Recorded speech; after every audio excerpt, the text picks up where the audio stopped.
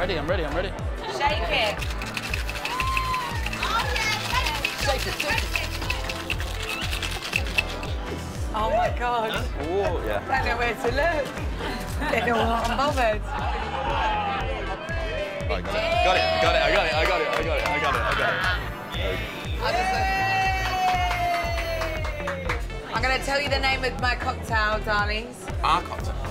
I'm sorry, our cocktail. Let's see how the night continues. the name of the cocktail is Never Settle. I'm actually so glad that I met Jordan tonight. He's fit and there's definitely chemistry. Well, you know what they say. The best way to get over one guy is.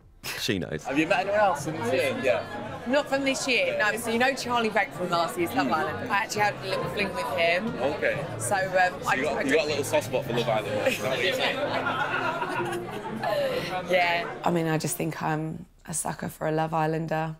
What's your first impressions of me, Dan? I'm going to be honest with you. I didn't think that I'd fancy you at all. I thought that we'd be friends, but like now you're here, I feel like we've got a bit of a connection. I think you're absolutely fire. You look unreal. Yeah. But you are quite young. Am I? 23. 24. Oh, that's Nearly better. 25, actually. Oh, even better. This is looking promising. 25, ripped, and he's got the banter.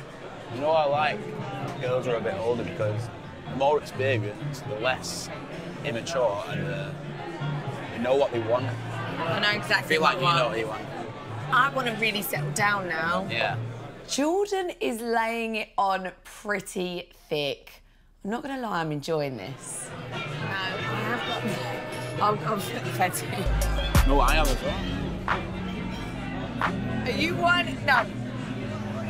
No, actually, I am. Stop it. I told you I wasn't alone with the foot fetish thing. It's a universal, global love affair for feet. Well, if there's one way to seal the deal, go on the foot.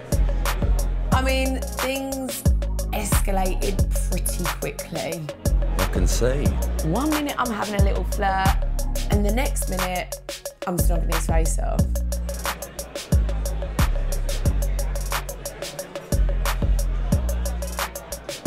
I have had such a fun evening, and I just got lost in the moment. But you know what? I need to go home and get back to my baby girl. Well, you know what they say. Always them wanting more.